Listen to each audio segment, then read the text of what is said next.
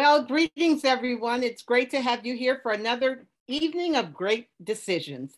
Uh, today, this evening, we are going to be focused on a topic I think that is of interest to almost everyone, and that is drug policy in Latin America. And we have a um, world acclaimed expert among us, Dr. Evan Ellis, who will be joining us in this discussion. Before we do that, though, I want to let you know that we have about two more um, in our series. This will go on, the next one will be on the Quad Alliance. Um, and we'll be looking forward to your joining us for that. But we also have several events coming up. We're going to start our summer internship program soon for high school and college students. And we are still intensely working with the Pub Public Health Management Corporation to promote vaccines in our region. So you'll be hearing from us about vaccine clinics, and we continually are providing education to our community, education they can trust, information they can trust about vaccines and about the science of COVID 19. So uh, I also want to let you know that on uh, Saturday, we'll be joining with the Civic Club of Harrisburg and we'll be uh, sponsoring an Easter egg hunt at the Civic Club there on Front Street. So it's from 1030 to 1. So I hope you will come out and bring the kiddies with you as well. It'll be a fun evening with that, I think we're going to now simply go into our Great Decisions video. You know how this works. We watch a video produced by the Foreign Policy Association that basically lays out what the issues are. At the end of that, I will give a proper and formal introduction to Dr. Evan Ellis, who will lead us in our discussion this evening. So with that, Zach, are you there to start our video? 2022 a masterclass brought to you by the Foreign Policy Association.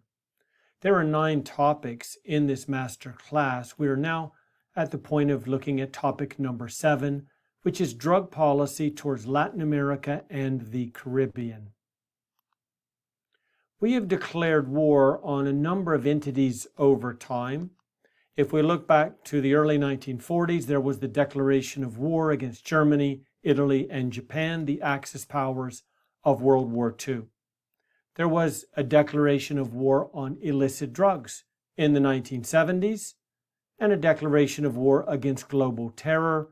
Most recently, we've declared war on COVID. So, what this tells us is that declarations of war are mere words. The question is what sort of policies underwrite them, give them life, and allow us to achieve our national interests. Before we can consider American foreign policy options, there are three main considerations. We're going to look at the bureaucratic landscape of dealing with international drug policy, the extent of the problem from Latin America, and then finally Latin America's own drug problem. We begin with the bureaucratic landscape. The United States, of course, is a very complicated government the White House on top, the president presides. Drug Enforcement Agency plays a central role in our war on drugs and our policy towards illicit drugs in Latin America and the Caribbean. But it's not the only federal agency that deals with drugs. Far from it. The landscape is littered with dozens of federal, regional, and state level agencies, all of them working together or against each other in confronting illicit drug trade, trafficking, and of course, use. There are 43 federal agencies alone involved in American drug policy globally, which includes, of course, Latin America. And they're very often struggling with and against each other. They're doing so for primacy, for attention, and for resources, or they simply struggle with each other because they speak different bureaucratic languages and have different protocols. There are several different theories of bureaucratic behavior that we can apply to American foreign policy. There is what we call RAM, or Rational Actor Model, Organizational Politics Model, or the OP model, and then BP, which is Bureaucratic Politics Model. They explain foreign policy bureaucracies in stark terms. Let's begin with the rational actor model. It is by far the simplest and most straightforward. It is the ideal model for foreign policy making. It imagines the U.S. government as a unitary actor with a very clear head, which is the president, with information from all of the agencies flowing upward, being vetted and filtered, analyzed and polished, and ultimately making it to the president's desk. The assumption is that when the president and his or her team consider a foreign policy option, they have all of the best information at their disposal. Decisions flow downward in an authoritative fashion. When the president speaks, when the president decides, that is the policy that is implemented. And the country's overall interest, it is assumed in this model, prevail over all local, regional, and political interests. It's the perfect model of foreign policy, and if only foreign policy operated in this fashion. The organizational politics model has a very different system. It sees a number of organizations that are arrayed across the government, all of them involved in various foreign policy issues.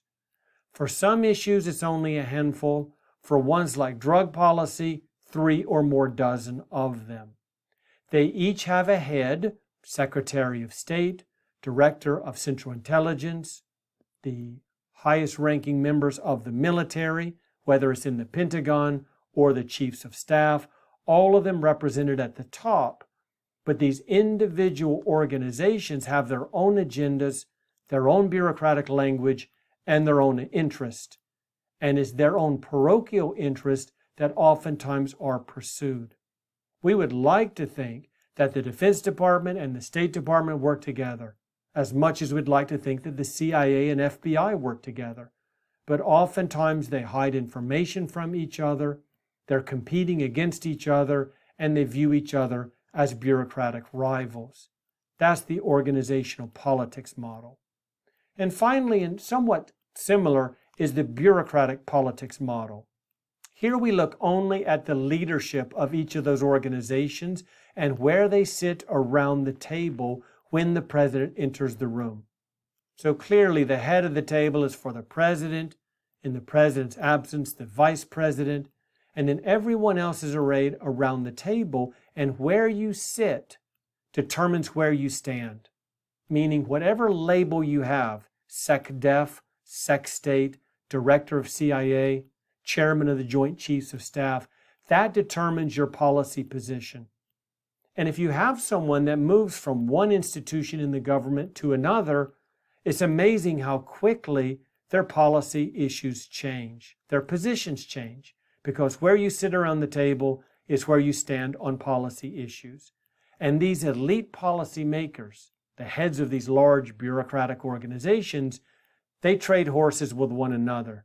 They make trade offs, they cut side deals. They're trying to create a winning coalition to gain the president's attention. It's called fighting for the president's ear. And if the president is listening to you, it's more likely that financial resources and responsibility will flow in your direction. That's the bureaucratic politics model. When we look at American agencies that deal with drug policy in Latin America, we cannot for a moment view this as the rational actor model. It is organizational and bureaucratic politics without any question. And that, of course, is not optimal. But it's not just about the United States. We're just one of many important players in the global battle against illicit drug trafficking and trade. In Latin America and the Caribbean, there are dozens of countries, each with their own bureaucratic battles. And somehow we have to overcome all of those battles, including ones with us, if we're going to coordinate policy across the entire region. What is the extent of the drug problem in the United States? The numbers don't tell us everything, but we do know that annually $150 billion of illegal drugs enter the United States. What does that mean in terms of cost for the U.S.? We'd have to calculate all of the medical treatments, the law enforcement efforts to crack down on drug dealers and drug consumers, the crime that is often related with addiction to drugs, and don't forget the lost productivity When people become sick because of drugs, they can't go to work. When they die, we lose a lifetime of productivity.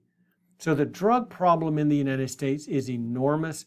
Putting a price tag on it is virtually impossible. Here we can see the main global trafficking routes for illicit drugs. There are three sources. There is the so called Golden Triangle in Southeast Asia. That includes Myanmar, one of our great decisions this year. There is that Golden Crescent, which basically begins in Afghanistan, and then it has its travel routes throughout Africa and Europe, and then finally today's great decisions challenge Latin America. As we look at our hemisphere, the drugs are largely produced in South America. They find their way to Central America, into Mexico, Caribbean islands, and on to the United States. The moment we crack down on land routes, the sea routes open up. We crack down on the sea routes, that opens the door for land routes. Very difficult to prevent the drugs from flowing into the United States. And once they reach our boundaries, they have a national network of highways and byways that they can use to spread across our great nation and poison our population. Latin America's drug problem. It's relatively straightforward. There are only three countries that promote or cultivate coca. That is, of course, the base of cocaine. They are Colombia, Peru, and Bolivia. But from them, the drugs flow throughout the region and, of course, northward to the major markets in North America. In fact, 90% of the cocaine produced in South America arrives on American shores. The other 10% makes its way to Africa, to Europe, and beyond. Let's now consider American foreign policy options as it relates to drug policy three main areas of focus.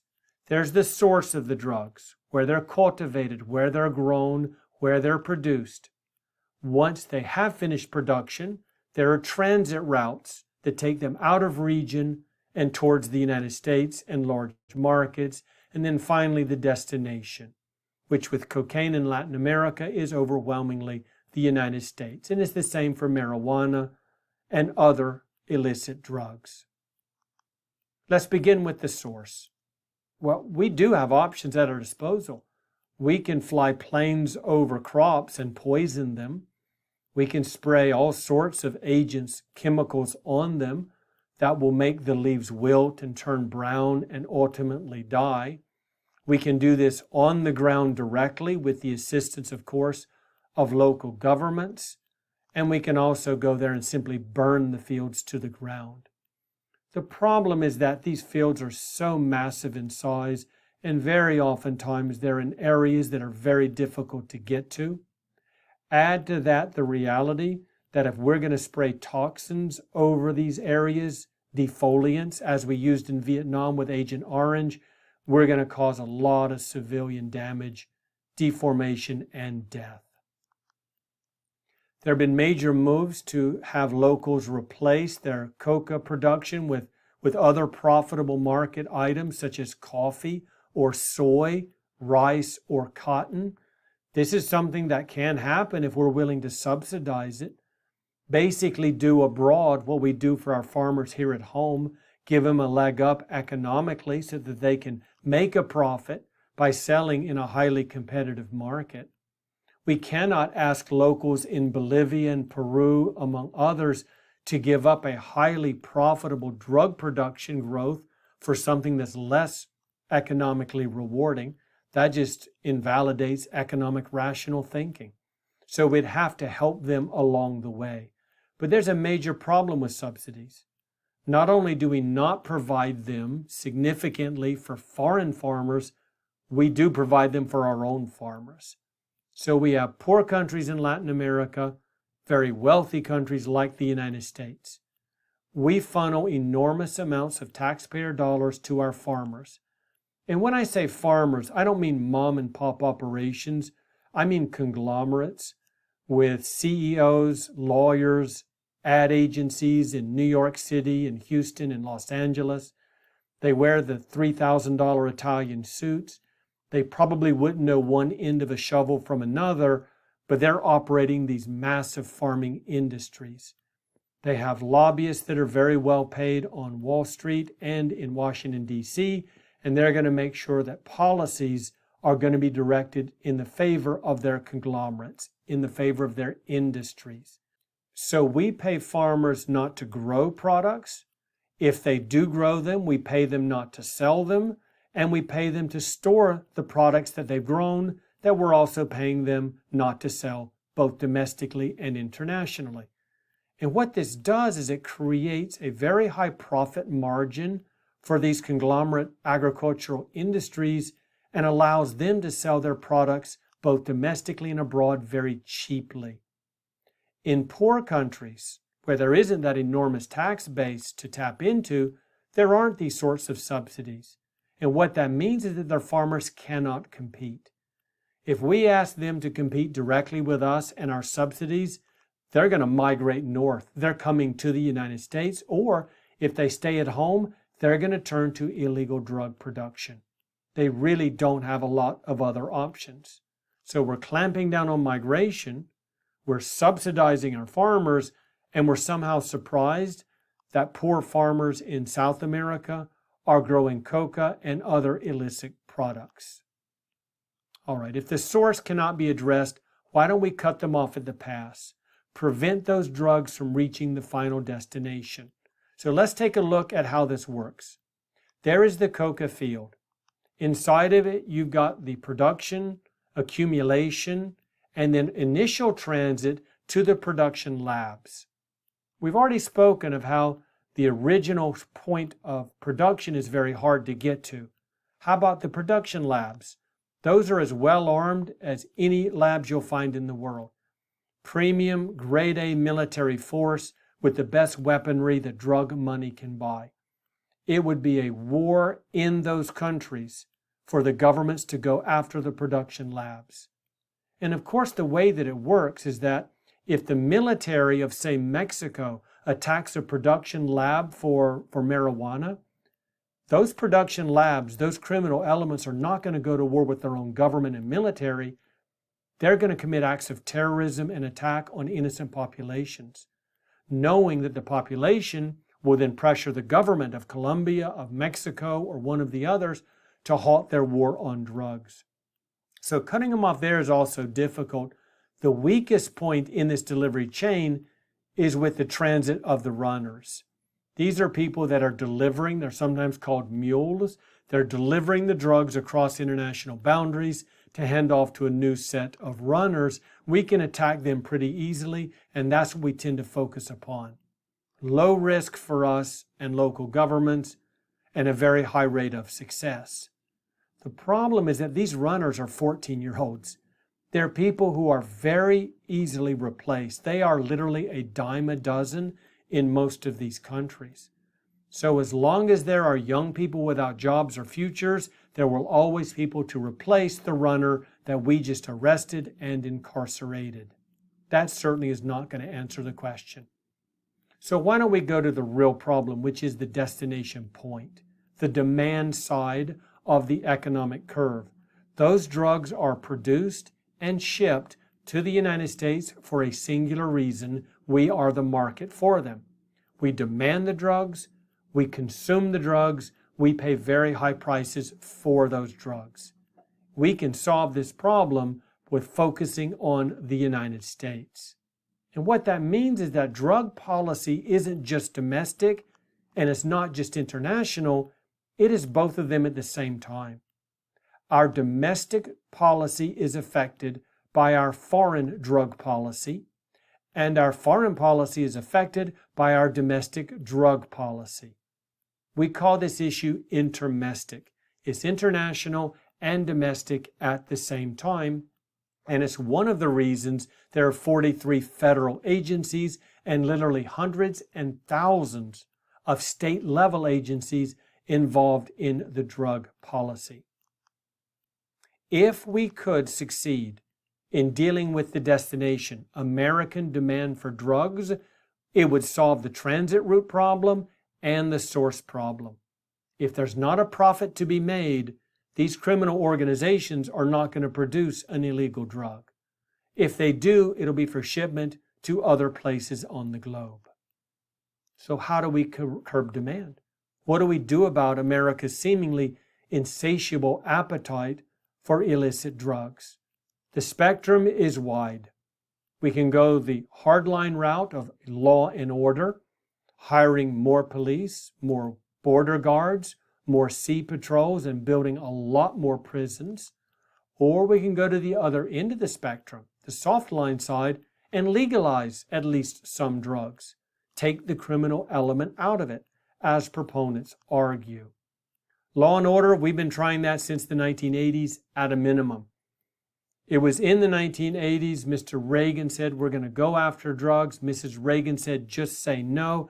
But the government decided to begin incarceration with mandatory sentencing for drug offenders. And just look at the population explosion among American prisoners. So we have the Nixon Declaration, we have the Reagan Sentencing Reform Act. Put those two together, and we don't have enough prisons to hold them all. There are very few countries in the world that incarcerate a higher percentage of their citizens than the United States. And we could continue this curve right out into 2022, and the numbers are up, up, and away.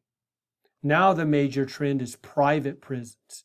So we have again corporations with profit motive, high paid lobbyists in Washington directing resources to build private prisons who have an incentive to encourage the sort of domestic policies and laws and sentencing that will send more customers to them. And of course, by customer, I mean prisoners. So if law and order isn't working, how about legalization? There's a strong movement in this country, and many U.S. states now have legalized pot or marijuana. But this never works because you can't legalize cocaine. You can't legalize methamphetamines. You can't legalize so many of the, the very hard drugs, the dangerous killing drugs that are very popular in the United States. And even legalizing marijuana won't work. I mean, companies will make a profit and people will smoke, I guess you'd call it safe weed, but there's always going to be a demand for stronger marijuana, stronger beyond the, the, the envelope of what domestic law allows, and there will always be a demand for cheaper marijuana. Legalizing it raises the price. It must be regulated, inspected, taxed, and as a result of that, the price of marijuana goes up, and that means there's always a market for less expensive, i.e., illegal marijuana being shipped in, including marijuana that is much, much stronger than what people can get through the legal resources. Legalization doesn't work, law and order doesn't seem to work, but there's a whole array of options in between, both domestic and international. From a foreign policy point of view, if the United States is going to succeed, short of ending American demand for drugs, which no one sees happening in the future, we have to get along better with the governments of Latin America and the Caribbean. We need to build trust with Mexico first. Because when there is something that happens across that border and we want to send the FBI or other special agents over to investigate, we need the Mexicans to cooperate with us and to allow us access to those areas. And if we don't have good relations with them, and if we can't trust them, then we can't work with them. Mexico is the first point of focus, but it very quickly becomes all of Central America, the Caribbean, and South America. That is a very tall order, and one historically that we have not been terribly successful at.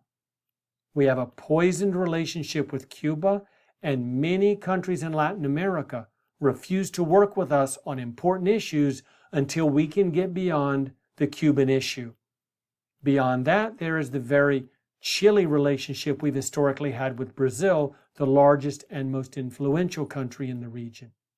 So rather than thinking of policy that includes all of Latin America and the Caribbean. We should focus on Mexico first, clean up our mess of a policy in Cuba, which serves no one's interest economically or politically, and then work very hard on a better relationship with Brazil. From there, we can branch out and perhaps have more success in heading off the illegal drugs that are entering this country. Solving the destination is first, but focusing on foreign policy and better relations certainly has to be part of the calculation. Thank you once again for attending this lecture as we move quickly towards the end of the 2022 series. Stay engaged and make great decisions. Well, that was quite an explanation. I think it was, um, well, he dealt with a lot of issues, but to break some of this down into uh, make it even clearer for us, because it's pretty complex, is Dr. R. Evan Ellis. He is a research professor of Latin American Studies at the U.S. Army War College Strategic Studies Institute. He has a focus on the region's relationships with China and other non-Western hemisphere actors, as well as transnational organized crime and populism in the region. I think we have the right person to talk today. But Dr. Ellis is prolific. I get every week, uh, I'm on his mailing list, and he is writing every week some article and pretty in depth and well researched, I might add but he has published over 300 works, including the 2009 book China in Latin America, The What's and Wherefores. He also has a book published in 2013, The Strategic Dimension of Chinese Engagement with Latin America. And in 2014, China on the Ground in Latin America. And 2018, Transnational Organized Crime in Latin America and the Caribbean. Now he's currently working on contract for his fifth book. China engages Latin America, distorting development and democracy. Well, Dr. Ellis, I can tell you we are overjoyed to have you here to lead this conversation. So please, the floor, the virtual floor is yours. Thank you very much. It's uh, good to see you again and be back here uh, in, this forum. Uh, I appreciate the invitation and uh, certainly that, that very kind uh, introduction. Uh, also, I thank the group present for your interest in, in these issues. It's really an honor to be able to, to address the, the community of, of the World Affairs Council Harrisburg. Um, so just a few things with respect to my ties to this issue I wanted to mention before I begin with some comment on, on the video that you just saw.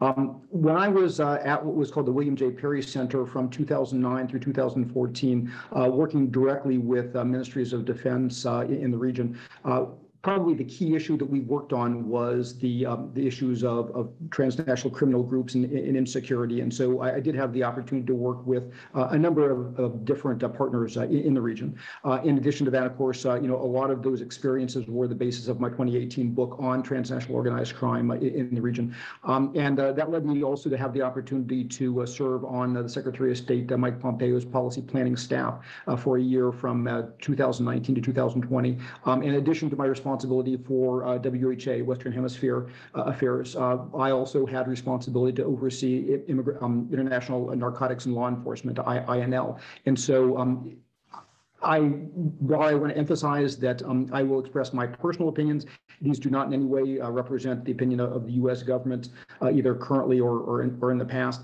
Um, but uh, I, I, would like to uh, comment based on some of my experiences in, in the region. And again, um, I, I want to start out just with, with a few reactions, uh, you know, both positive and negative to what you just saw based on that experience. And I'm going to kind of go in the order that I, the video presented things. And so, um, first of all, the question of how is policy made and, and how does that impact the decisions. Um, my own personal experience, again, overseeing INL and seeing how INL interfaced with DEA and other entities, uh, seeing also, you know, how um, you know our security assistance programs and, and other uh, entities uh, tied into that. Um, my sense is that um, oftentimes we overcomplicate these things. That in reality, when we look at policies, uh, certainly uh, each individual president or administration brings their ideas of the trade-offs there. Um, generally, the bureaucracies that I've had the honor to work with are, are faithful to at least trying to the direction of that administration. We certainly see how different administrations have different people and push that in different directions. Um, and certainly there is some, uh, you know,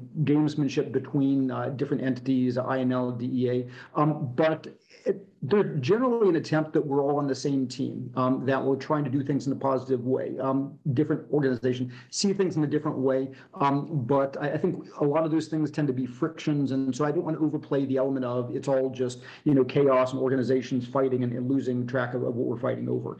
Um, in addition to that, when we talk about working with our partners, and, and frankly, Latin America is one of the places where our work on these issues, uh, especially drug issues, but, but also other security issues, is one of the most fundamental part of of, our security relationships. Um, and certainly with drug issues, one of the things that uh, does impair is um, the question of politics. In some cases, it's politics with a big P. Uh, for example, the way in which uh, Venezuela and Bolivia and, and, other what you'd call you know anti-U.S. populist regimes um, have eliminated um, entities like the DEA and our ability to do those types of cooperation with them, sometimes to protect drug operations that are tied with the governments.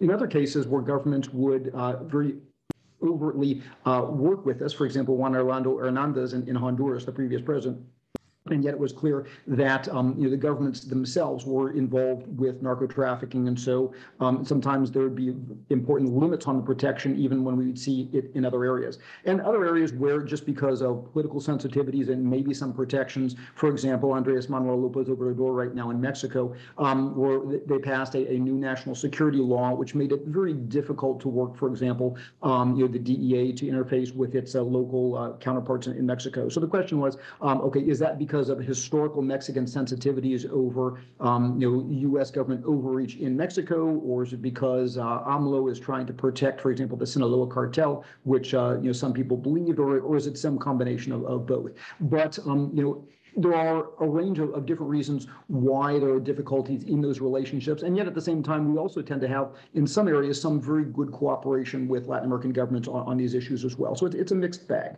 Um, also, important when you saw those maps, um, and, and, certainly we often focus on the, the drugs coming to the United States. And so you saw that wonderful map of the drugs coming out of Colombia, working their way up either through the Caribbean or Central America, through Mexico to, to the United States. Um, but thinking about the well-being of, of Latin America, it's very important important to recall that, for example, a lot of those drugs, uh, especially today that are produced in, in Peru, um, especially in areas such as the Apurimac-Eni and, and Mantaro River valleys, the famous VRAEM, as well as some in Bolivia, um, those often flow uh, down uh, through Argentina uh, to ports like Buenos Aires or, Rosario or, Rosario, Montevideo, where they go over to Europe. Um, some of the drugs that come out of Colombia also flow uh, from places like the, um, the Gulf of Paria um, in Trinidad and Tobago and go also over to Europe. Um, so oftentimes we forget um, the way in which it's not all about us, but those drug flows um, also are impacting, um, are going in other directions, impacting other other nations. Um, and indeed, one of the things that you find through uh, what's called payment in kind, which has been going on for years, where instead of paying in dollars or other local currency, the narco traffickers would pay um, in whatever they're moving, generally cocaine. And that uh, led to a emerging demand in many places where there previously was not that much demand. And so, for example, in some of the, the slums of, of Rio de Janeiro and Sao Paulo and places like that in, in Brazil. Um, what we used to call crack cocaine, the Brazilians call uh, bazuco. Uh, in Argentina, Buenos Aires, they, they, they call it paco. And so important that understand that not only the the flows and the violence and the money these are impacting the entire region and it's not just all about the, the US demand um, beyond that um, important point about the the United States you saw that wonderful uh, uh, illustration of the highway networks and and and that. Um, Mexican cartels like Sinaloa, Jalisco, Nueva Generacion oftentimes work with gangs in the United States who have some affiliation with them. So it's not all just on the Mexican side. It doesn't suddenly become safe when we get to the United States. Um, on East Coast, uh, for example, a lot of the expansion of opioids, if you remember back a couple of years ago, um, that was initially through many of the Dominican gangs that had been uh, well inserted um, within uh, the East Coast. And so you find in different parts of the United States, you have different local gangs um, that are the basically the distributors that are tied to those who are moving the drugs. And so it's, it's a very complex picture and important to understand that, that we here in the United States are, are part of those networks on, on the distribution side. Um, also, I think it's important to point out that when we talk about drugs, um, there is a tendency to talk about cocaine, and we tend to default to thinking about the cocaine supply chain. But every single supply chain is different in terms of where things are produced, where things move, how they move, the technical considerations. So, for example, um, you have opioids. So when we had with OxyContin and basically the, the rediscovering of, you know, basically opioids, a heroin as substitutes for OxyContin, um, there is an, there is a part of, of Mexico that a lot of that historically was, was produced in places like Sinaloa that became one of the new source zones. There's also a place uh, near San Marcos in, in Guatemala where a lot of that came from. It's not just the old kind of the Asian uh, heroin triangle. Or for example, when we talk about fentanyl, a lot of fentanyl as well as other synthetic drugs is not necessarily produce. You don't grow fentanyl, although sometimes fentanyl is used to lace other things. Um, but for example, a lot of that fentanyl was actually uh, produced in China, initially mailed directly to the United States. Uh, and also when we began to clamp down on the mail and push back with our, our Chinese counterparts to help us control that, um, a lot began to uh, come into Mexico and through the cartels, it was produced or cut with other things and came up through there. So, so every supply chain is, is different, but it, it's easy to focus on Colombia and, and labs and, and, things like that. Um, beyond that, just when we talk about the, the cocaine chain, because it is, uh, we typically do fly over this, um, a couple things uh, just I think are important to, to maybe uh, correct. Um, number one, when we talk about aerial eradication, um, number one, we, the United States, do not fly the planes. Um, it is almost always by our, our partner countries. Um, and if there's ever any U.S. role, it is fully with the approval of those partner countries. Indeed, one of the reasons that Colombia had to stop its aerial eradication program was because its Supreme Court um, had some concerns about the some of the impacts of um, the chemicals that were used. Um, but this, these are not the chemicals that were used in Vietnam for defoliation. Um, this is actually um, chemically, uh, it's called glyphosate. it is that's the most common one. It is uh, roughly uh, consistent with what Monsanto uses, what you use in your your gardens, uh, uh, called called Roundup. You, you, may have heard of it commercially. And so, um, although there are some concerns about the long run effects of, of spraying, um, spraying things do not you know kill people in mass numbers. Um, so that's a, a, misnomer. Also, it's important to recognize that aerial eradication is far far more efficient and less dangerous for our partners um, and, and, others than aerial. Why is that? Um, number one, because when you can fly over, although you occasionally have people that try to shoot at you, and we actually have had um, some instances of, of, of, downed planes over the years with, with our partners. Um, when you go manual eradication, you're basically going into places where people in remote areas are earning a livelihood from these illegal crops and saying, we're going to come in here and we are going to rip out or burn your, your crops in, in front of you. So as you might expect, there's a little bit of local resistance. And so oftentimes you have to dedicate um, military manpower or other to basically guard the people who are ripping out the crops. So very large manual effort, very large um, uh, effort. Um, oftentimes it helps to produce and, and, and augment uh, basically social tensions and, and, violence in the areas where you're trying to do the, the eradication. Although, for example, our Colombian partners have made heroic efforts to, to, to do that. Um, a comment also on, on the, uh, the crop substitution part. Um, so absolutely uh, correct that one of the difficulties of our crop substitution programs and places like, like Colombia is we have historically underfunded those crop substitution programs. Um, so we say, you know, for example, we had signed contracts in Colombia right after the Colombia 2016 peace accord um, with about uh, with about 70,000 different families in Colombia um, to help uh, alternatives. Um, the actual funding that we put into the program didn't even cover 10,000. And frankly, it was probably the wrong 10,000 you know, people. In addition, um, the problems are oftentimes um, that there is not the infrastructure available. And so if you want to get your, um, you know, you get cocoa, well, the narcos will come and, and they'll pick up your cocoa for you. You just have to, to grow it.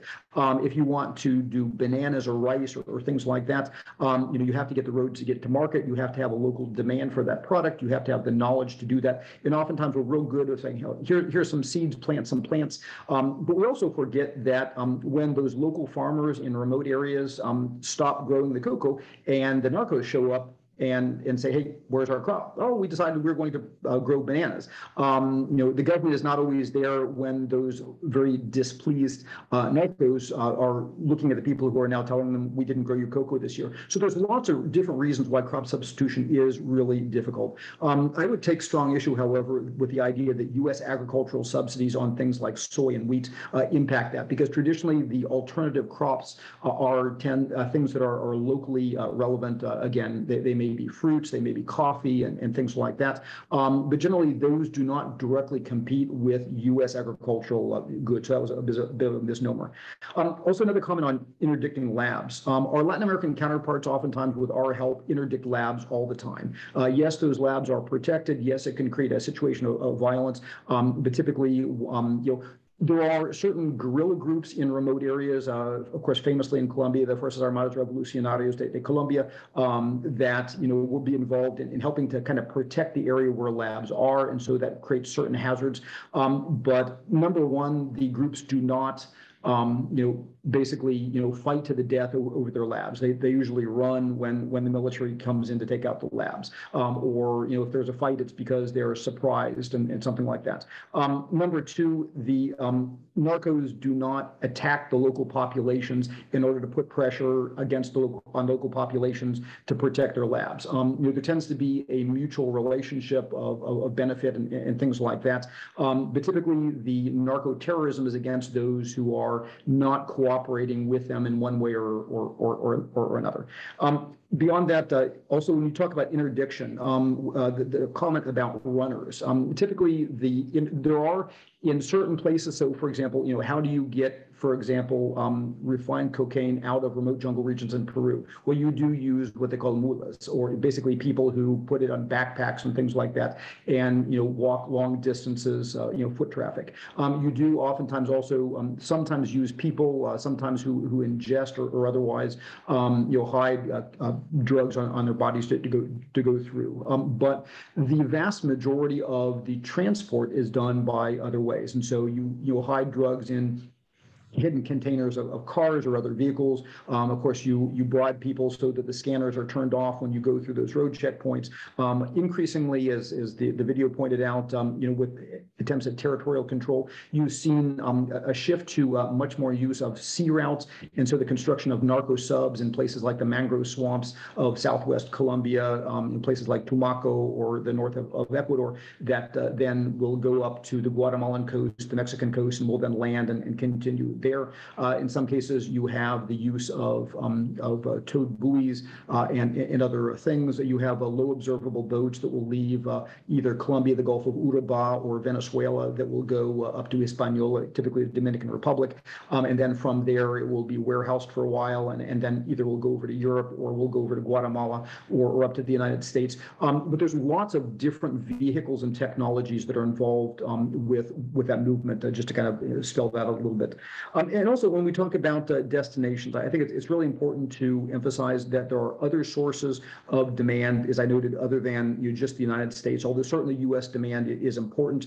Um, and again, there are other crimes that uh, transnational groups, uh, typically some groups are more involved in cocaine or, or, other drug movements. Other groups are involved in illegal mining. Other groups are involved in uh, human smuggling or extortion. Uh, it really depends on, on the nature of the groups. And sometimes groups shift from one revenue earning thing thing to another. And so just to kind of, it's not quite as simple as the bad guys just produce and, and move drugs.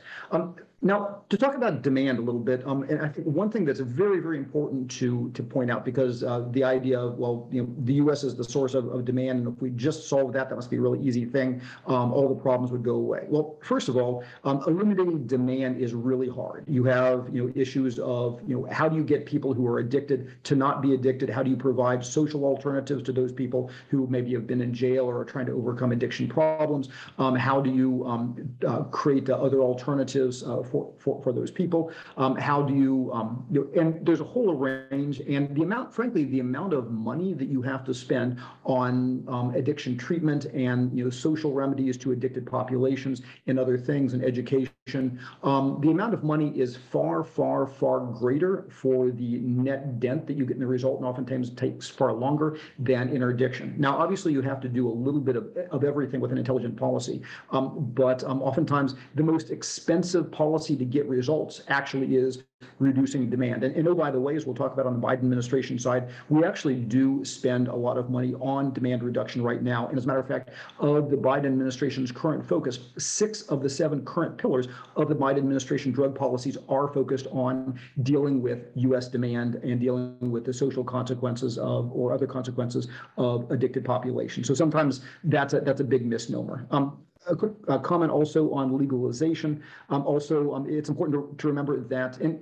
I think there were some good points made by the the the uh, the speaker. But in addition to the difficulty reducing demand, we have to understand that if you make certain things legal, um, it make, means that organizations involved in transporting them then have greater options for laundering money because now what was previously illegal now becomes a legal source of, of income uh, and helps them actually to hide their cash if they stay in one way or another in that industry. Um, it, it is correct to say that it's very difficult to talk about legalizing uh, more ad, highly addictive, more highly lethal drugs. You know, certainly things like fentanyl or, or cocaine or, or, or heroin. Um, and indeed, you see in, in Europe the size of the addict populations, even where those things are, are legalized, grows enormously, and they spend a lot of money to, to deal with with those issues. Um, and also, there's always the risk. Uh, the question, I think it's debatable, and some people come down on each side of this, is the question of to what degree are certain types of drugs like marijuana or, for that matter, alcohol are these gateway drugs. And so, you know, if you legalize one, uh, how, you know, what do you legalize, what you don't? Um, and as the video properly pointed out, um, talked a little bit about, you know, people always want more. But as we actually will see in the Uruguay example, one of the problems is that uh, you always get a black market in the drugs that you even legalize. And empirically, we, we see that across the region.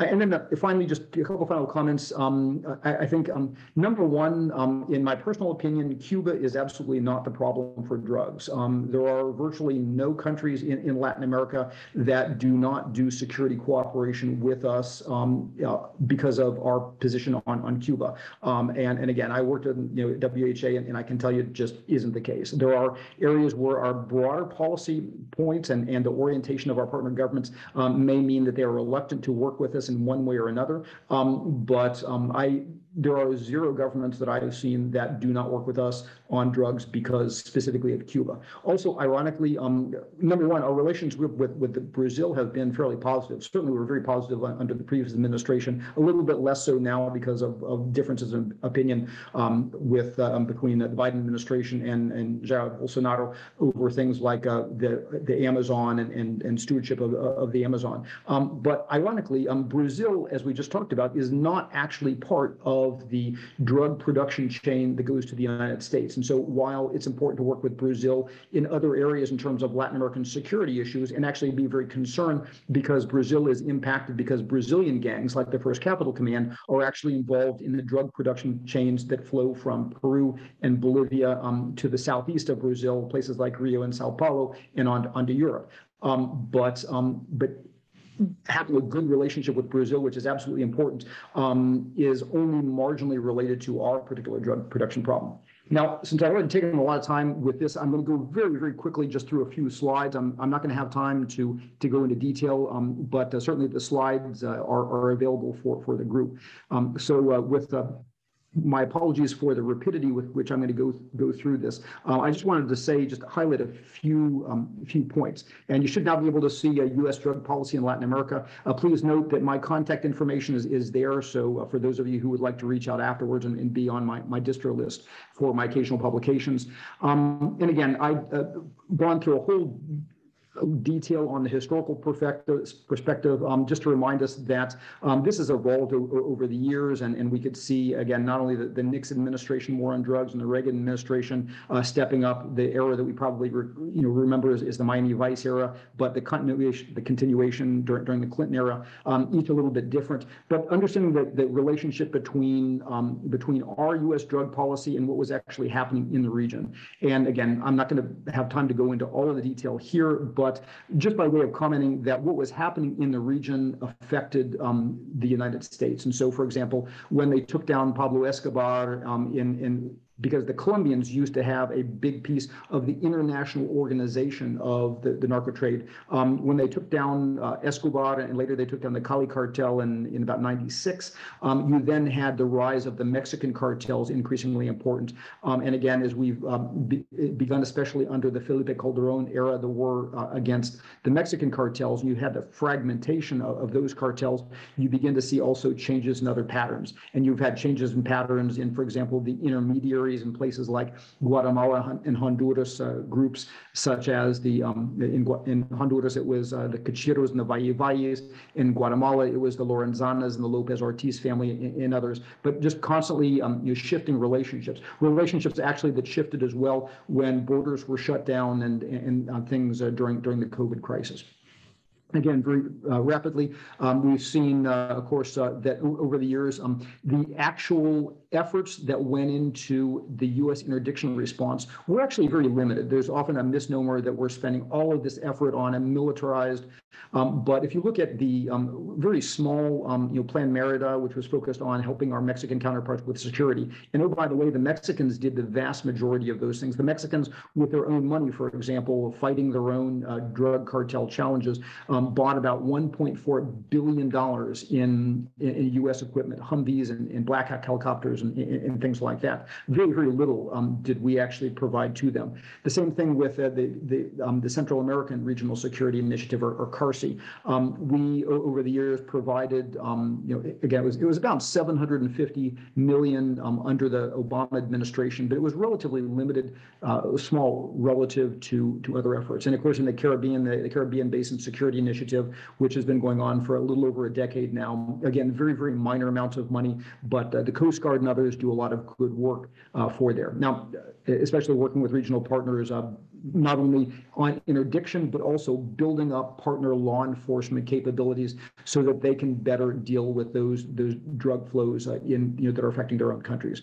Um, we've seen a little bit about legalization, as I talked to before. I think it's important to, to note that in countries where you've had legalization, like Uruguay and Jamaica, you have still had a black market in, in some of those drugs.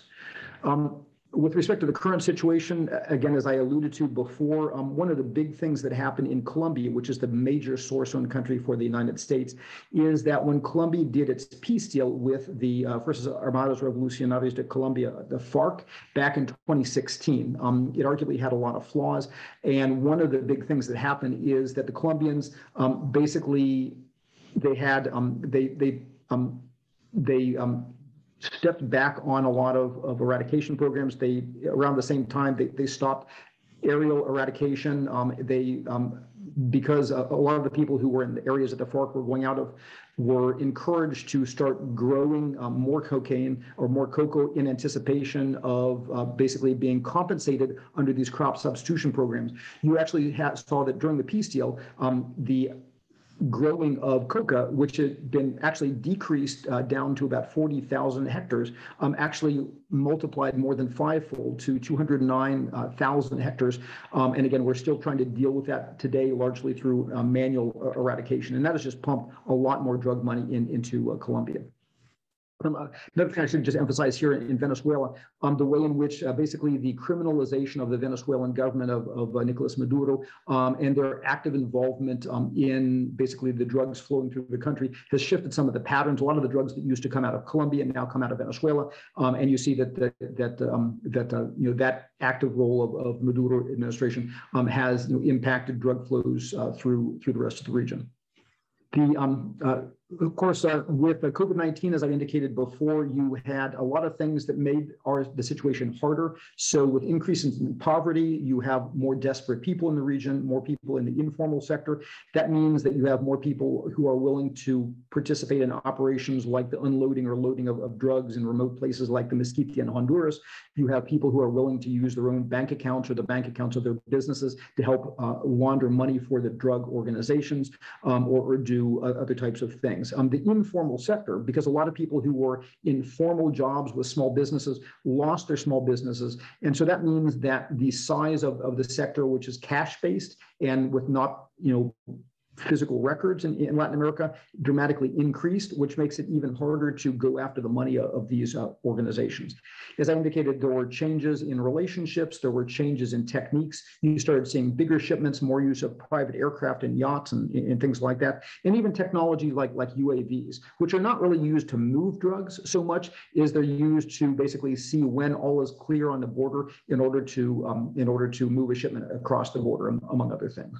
So again, uh, just to come back to the Biden administration, I think it's important to emphasize on, on the fact that, as I indicated before, um, uh, with the current Office of National Drug Control Policy, six out of seven of the pillars of the current administration's program are focused on demand reduction. Again, number one, treatment of addiction. Number two, uh, addressing some of the racial differences, the, the way in which uh, Afro-American communities especially have been disproportionately targeted for uh, criminalization, um, both getting involved in, in the, um, the, the, drug culture as well as the, the associated uh, incarceration over the years. Uh, number three, uh, looking at what they call harm reduction. So, for example, more availability of, of, drugs such as Naloxone so that people who overdose especially, um, you know, basically do not die from those overdoses. Uh, uh again, more prevention programs. Um, again, number five, supply reduction is all of those other things that we talk about. Um, there are things like employability of addicts. And so, you know, if you're an addict, you know, how are you going to get a job so you can break that cycle? Um, and, and, again, um, you know, how do you get recovery services so that you, again, once you get off of these very addictive drugs, how do you how do you stay off of it? Um, and again, the um, again, $44 billion in programs. So of those programs, only a very, very small percentage is actually um, working uh, interdiction and supply side things. Um, and again, multiple different agencies who are working. And again, when you think of, well, 43 agencies involved in, in, in drugs, you think, well, they're all involved in interdiction. Well, no, a lot of them are actually involved in working with, you know, communities in the U.S., um, preventing overdoses and things like that. And, and, and even the Centers for Disease Control um, has a role, but uh, primarily focus on, on, on education of um, against uh, drugs as a um, is again as a basically a disease. Um, and again, just to throw a few final points out there uh, to stimulate discussion, uh, as we alluded to before, there's a real debate over some of the undesirable effects of, of legalization in terms of, of increasing addiction, increasing criminality. Um, you know, the role of, of some drugs potentially is, is a gateway drug, the way in which uh, you know legalization may not actually fully eliminate the earnings of drug trafficking organizations um, because they will continue to use that, but they then they will just be able to uh, now be involved in a legal activity that they will be able to, to use to hide their illicit activities. Um, as we saw in Uruguay, the persistence of a black market, um, the um, the fact that uh, you you do indeed um, you get a problem when you have some drugs that are legal, some drugs that are illegal, some drugs that are legal in some states. I mean, marijuana is a case of this, and so in some places you have to have a prescription for medical marijuana. In other cases, it's more fully legal. Um, so if you can imagine the nightmare that this creates for law enforcement um, and organizations trying to make sure that when you try to go after what is illegal, when it's partially illegal in different jurisdictions and in different ways. It just creates a, a nightmare for, for trying to, to address that problem. And also the question of if you do legalization, who benefits from legalization and who doesn't? The question of, you know, to the extent that legalization in the United States, um, you know, will that actually decrease violence in Latin America? Will that actually um, lower the economic benefit that is going to the Latin American uh, part of, of the drug supply chain? So ironically, um, will you actually um, decrease the amount of money that is available for those who you know grow coca in places like the highlands of Peru, um, and thus at the end of the day um, contribute to to other problems. And so um, again, um, I think it's it's an interesting debate, but I think there's there's a complexity that needs to be uh, understood with that. And so uh, with that, I uh, will stop my my formal remarks and look forward to the discussion of, of the group. So thanks a lot for for your time, and I'm looking forward to uh, our, our discussion. Well, wonderful. This has been most thorough, but you've only made it more complex with what you presented. but, but we do have several questions here, but I'm I'm still confused a little bit with regard to the black market. I mean, just as a normal person, you think, well, now it's free. You can use it. The people who are sick will have a place to treat you. But you're saying that there's still going to be the illegal side of this. What would be illegal if everything's illegal? I mean, why would there be a black market? And, and, let me start out. Um, there's a black market for just about everything. I mean, there's a black market for designer clothing, for example. I mean, the, the Chinese knockoffs that come in, um, you know, that you know, you have a black market for you know tobacco products.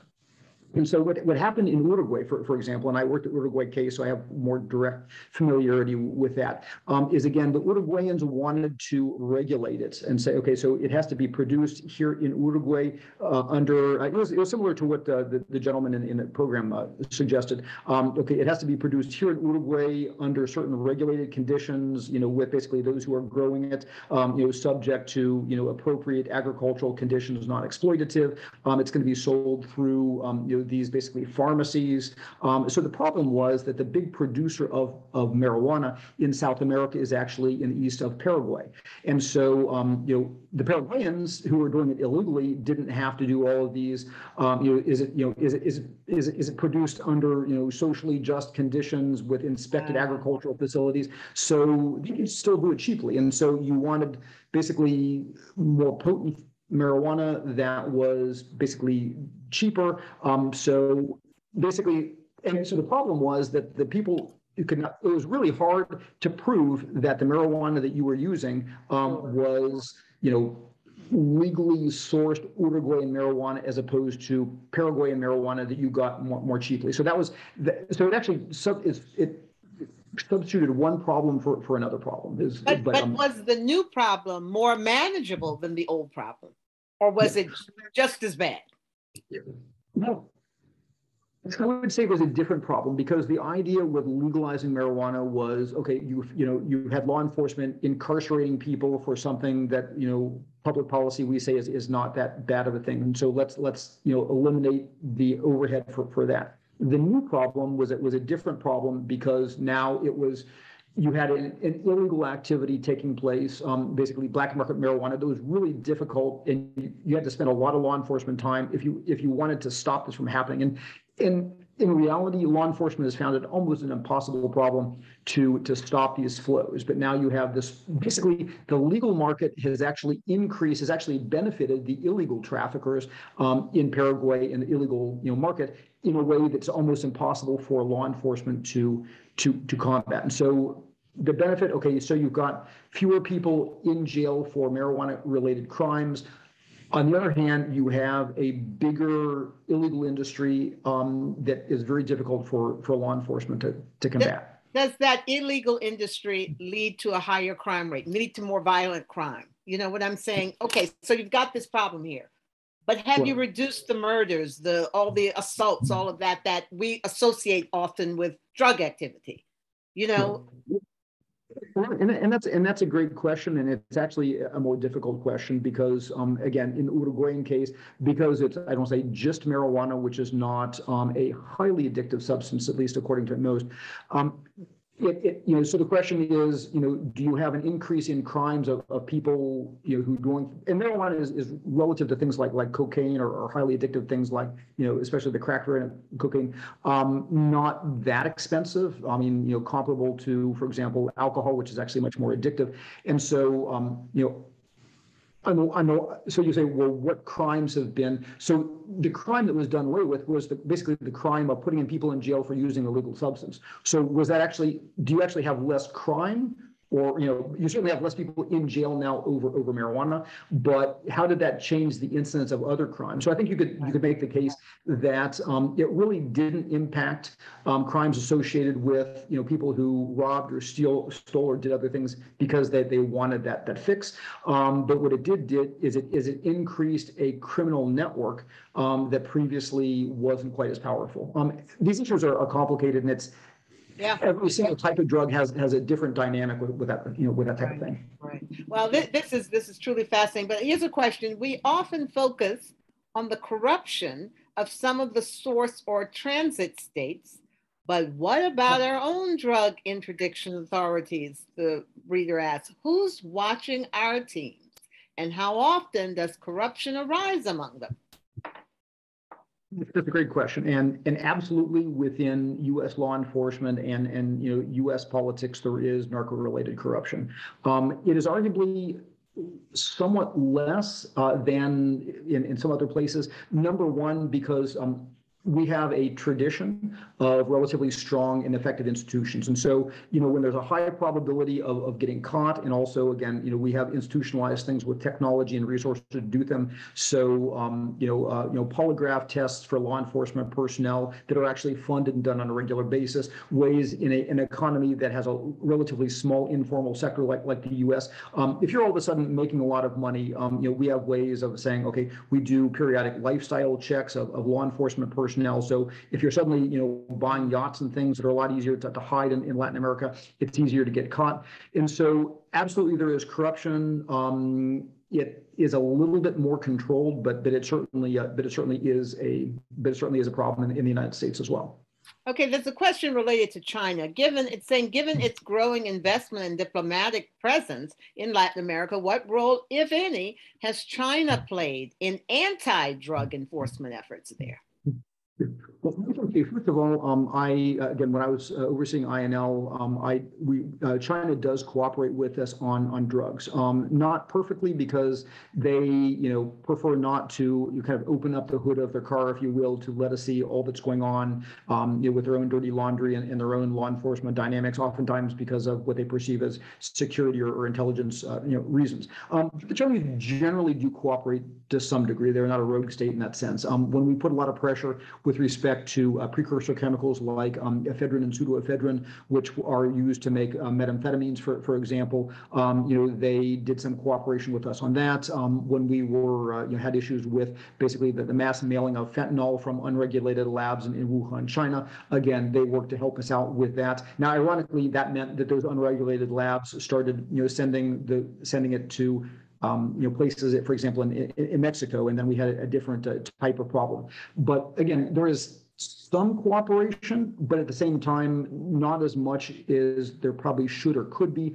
And certainly given the um, the lethality of fentanyl, which is not only used directly, but again, because of, of the risk that a small difference in, in, in dosage can kill you. I mean, fentanyl deaths are a big portion of the 102,000, I think, deaths we had last year from, from overdoses.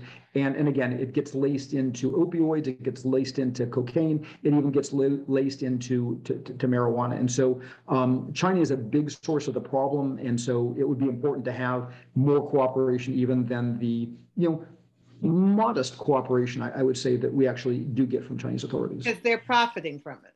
The Chinese are profiting from it. So no. The Chinese like like when their companies um, do other things where they get involved in cutting corners on on labor and the, and the projects that they do in Latin America or environmental regulations. Um, the Chinese have laws in the books, um, and sometimes they enforce the laws when it makes their government look bad. But if it's going to hurt a company or other things, they're oftentimes not in a hurry to enforce their laws uh, abroad. And so, um, to the extent that it makes them look bad, they they they do work with us, and they certainly don't want to be perceived as not working with us. But um, you know, it is. It, and it's not that it undercuts the profits of their companies because their petrochemical companies and, and other companies really aren't that big of a part of, of their economy. Um, they're just they they do the minimum that they need to to to be seen as cooperating. Um, I, I'll put it that way. Right. Um, I want to delve a little bit more to into the subsidizing and why that isn't working. And you know, I it, they made a very good case, and I get it, having lived abroad and been to many of these countries that uh, that people are poor. They have to have something. This is a way that they can feed their families or more, or or have some decent life. So you would think the economic angle is definitely, you know, a factor in all of this. And yet, as you point out, and I think that the this other speaker did too, we're, we we haven't put enough money in it. What if that were changed? What do you think? And I know you also mentioned, but the drug kingpins aren't going to be happy about it. But what if we did say we know how much we're spending, how much this is costing our economy, and we can't even calculate how much it's costing? What if we really gave this subsidy stuff what it needed to work? That's a great question. Um, and I think there's a certain logic, um, and, and I'm a big proponent that we need to be spending a whole lot more than we, we currently are in the region with which we are intimately connected by ties of, of family as, as well as ties of, of commerce and ties of geography. And we see that when things go bad in, in Latin America, it becomes a domestic challenge for us through immigration and of course through drugs and, and other things. Um, that oftentimes we talk about, you know, if we could just throw enough money at it. And I, I want to put the example of Afghanistan out there because at, with the war on drugs, I think there was a moment of just blind faith in our ability to completely fix a country that we know very little about. And so, you know, after literally trillions of dollars of, of spending in Afghanistan over, you know, many, many, many years, um, you know, we walked away and, and, look how quickly, you know, that regime collapsed and, and now the Taliban. And so I think we oftentimes think if we just throw enough money at it, um, the problems will be fixed. And it is again, as, I think uh, the Biden administration, Vice President Harris is finding right now with the focus on, on root causes, um, the you know where do you put the money and, and how do you create opportunities? And do you have a willing partner? And how do you make sure that that money isn't just you know essentially you know stolen or goes into bad idea projects? Um, and what is the delay between you know how do you solve the security situation so that the money goes in actually produces enduring change? Um, and if you produce enduring change that begin to give people other things to do it's not just okay well I the vast majority of people in Latin America of, of all socioeconomic walks of life, although there's the acceptance of, of corruption, just people learn to live with corruption, people uh, you know, learn to live with certain double standards. Um, but in general, most people that I've worked with over the years in Latin America, you know, don't just say, okay, I just want to do bad things. I, um, you know, even in the poorest of neighborhoods, and, and I have, you know, personal friends, um, you know, you know, mothers try to teach their kids, you know, don't get involved with the pandillas, don't get involved with this, don't get involved with with the drug trafficking. Um, but it happens. But, but at the end of the day, um, you know, even if you start producing other jobs and other other things, well, you know, there are still the people with the flashy, you know, watches and the nice cars and they get the girls and, and things like that. And so we're talking generate. I mean, even in the United States, and and so it's it's generations of providing economic alternatives and, and things like that, and changing attitudes um, to make even somewhat of a dent. And so I think that's part of it, but it's not the it's not the the only thing. But but certainly there's a lot more that we can and, and should be doing. Um, in fact, we have to do it in a smart way because it's not just because if you just say, okay, I'm going to throw money at my pet program and we're going to build more, you know, bridges and we're going to give more money to, um, you know, to, to certain communities that suddenly we'll stop having drugs flow through the region and suddenly we're, um, you know, it's you've got to do those things. You've got to do them intelligently. Frankly, in terms of our own economic infrastructure and, and inequalities and things, there's a heck of a lot more that we need to do to, to fix our own problems. Um, you know, so our difficulties in throwing money to fix our own problems show you how difficult it is to to deal with the very intractable problems that we have in, in, in our neighbor. So absolutely need more money, absolutely have to do it, but um, realize that that's only one small piece of the problem and it's gonna take years for things to get better. I see. Well, before I ask you and get ready for what is the solution, before I, I'm, I'm going to ask you this question here because it's an interesting one. How successfully can drug money be tracked, tracked and seized from banks um, in the U.S. or anywhere? I mean, uh, or in, and are any major U.S. banks involved in laundering these proceeds? Question. Um, and there is a lot of stuff, and, and frankly, um, focusing on, on the money is, is probably one of the least glamorous and sexy parts, but probably one of the most important parts of, of our efforts. Um, it's my, my a dear colleague of mine, Celina Realuyo, uh, uh, always said, you know, follow the money. I mean, because without money, narco trafficking organizations, um, you know, they they everything falls apart. The ability to bribe, the ability to acquire arms, the ability to, to acquire production infrastructure, um, you know, it, it all falls apart. Now, it it is hard, but um, you know, Treasury um, has many important programs. It the the higher levels of formality that you get in the economy, the, the, easier it is to get. Because at some point, when a business's earnings disappears into a flow of, of cash, um, you know that that's when it's, it's hard to, to show that you know this is narco dollars versus versus other things.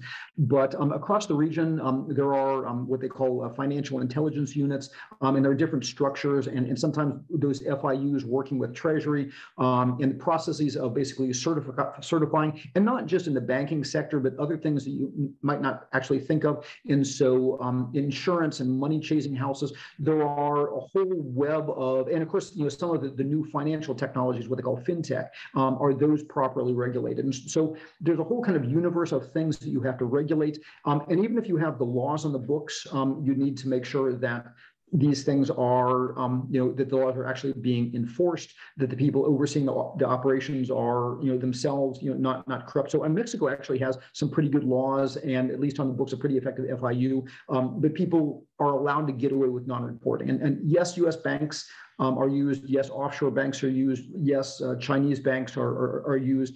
Um, you know, some of the places in Latin America where it's a little bit easier not to report or, or you know, you know, things like that, um, you know, or where some of the, the bigger holes are. But uh, I think uh, it wasn't that long ago that uh, HSBC and, and a couple other major banks were actually indicted in a in a major scheme where they were shown to be dirty. So um, yes, absolutely does happen, um, and it is it's it's hard, but it is is is absolutely um, one of the one of the things that you you got to do. Well, when we started out through the film, the the speaker identified three things that he said was tied to all of this and and the assumption is that if you solve these three things you'd solve this problem so the first was subsidize right get get the money help the farmers do something different the second was wipe it out just eradicate it and i still think even as i was listening to that there must be a way to wipe out those crops that's not so dangerous. There's just got to be something you could put down, even if it's boric acid or something. that would that was all right. But and the third he says was um, cut the demand in the U.S. All of that makes sense. But I want to now ask you in summary: Is there are these really the three components that we would need to uh, tackle to stop this? Is it stoppable? I mean, is there a solution to this problem? Right. Well, first of all, it's a good question, very important question, um, and there are solutions, and just like in many of our problems, it, um, but there's not one magic bullet to, to make it, it all good or, or, or quickly. Um, and it's interesting because in my own capacity, when I was at the Perry Center, one of the things that I used to work with with Latin American governments um, was through modeling and simulation and, and gaming. Um, you know, how do you manage these type of things? And you know, I'll tell you, um, if you look at, for example, a military organization and a, and a military commander will, will, look at the enemy and he'll look at the terrain and, and, you know, and kind of recognizes that you have to bring, you know, you don't just say, well, I'm going to use a little bit of infantry. I'm going to use a little bit of, or, uh, or tanks are really good. So I'm going to use just tanks because if you use, if you, um, well, is, is the Russians discovered in Ukraine, if you just throw in tanks undefended, um, infantry can, can wipe them out pretty easily. Um, and so my experience over the years is that um, what you have to do is you have to apply selective pressure um, in in a coordinated way, in an intelligent way across those those things. And the pressure you apply in any one place you never have enough resources to fix it with just that thing and, and instantly. Um, so for example it is absolutely important to do you know some interdiction or first of all to do some supply side thing whether you know and again i'm i'm a, I'm a believer that you know things like aerial spraying with glyphosate is actually a relatively safe thing um, and you know that needs to be applied you know more broadly. Um, but yes you do need to do effective crop substitution programs so that when you destroy their crops you don't just create social chaos um, and create other other type of problems. So you know you need to do that better. Uh, you need to do more effective interdiction whether that's intelligence uh, working against labs um, whether that's uh, interdicting movement to make sure that those, those wonderful uh, you know, technologies like, like road scanners are actually not conveniently disabled, you know, when, you know, so there are certain things that you can do there. And again, it's, it's along the way of the supply chain. There's, and I mean, there's maritime interdiction that you have to work, there's road interdiction, there's interdiction at the borders, um, and there are a lot of technical problems if you really get into the weeds of, you know, us working with our, our counterparts to, to work those problems. Um, but then as you pointed out, there are supply, there are demand side things that we need to continue to do. There are, frankly, um, things that we need to continue to do um, with, with respect to going after the money, as we talked about, and frankly, disrupting the organizations. Because if you disrupt the organizations while managing the violence that you unleash, as we see in, in Mexico, when you actually you know take out those leaders or basically take out their essentially go after the accountants and go after the people who know where the money are and move them. Um, and so at the end of the day, you find, at least in my experience, is that you need to do all of those things. And as soon as you start doing those things, it changes the dynamics of, of the groups. And so you need to be reacting. Um, you need to say, okay, well, this is now becoming important because I've, I've done this. Now I need to move in, in, into this area. Uh, the problem that you, in my experience, the problems that we have is number one, um, the resources that we put against this problem are usually insufficient. Um, and we're always changing programs and canceling programs and suspending things. Um, and we're doing a lot of things that make us feel like we're doing something, but it's not always the, the right thing to, to do. Um, and so you need a something that is more well resourced and is more constant and is more intelligent and that continues to adapt. Um, so oftentimes we every couple of years we're, we're changing policies our partners are changing policies um, trying something else and at the end of the day we continue to throw our hands up but but the problem is just we're not learning and going after it and, and continuing to apply what works in, in an intelligent way with on the scale that we, we really need to. And we'll never eradicate this problem completely, but we can make it a lot more manageable. And the interesting thing is about what they call uh, feedback cycles. So again, if you reduce corruption, and so more people, now you have a less corrupt organization, and it becomes more likely that if I'm doing a corrupt thing, I believe that I'm going to get caught, as we have in the United States, then I'm going to be even less likely to to, to be corrupt myself. And so the more you fight corruption, the more effective you have against corruption. Or, for example, in communities, the more that you believe that, you know, working with the narcos is not the way to go, and that's a generational thing, the less likely I'm going to be to to join that, and the more likely I'm going to be to work with law enforcement if I believe that they're not all, all corrupt.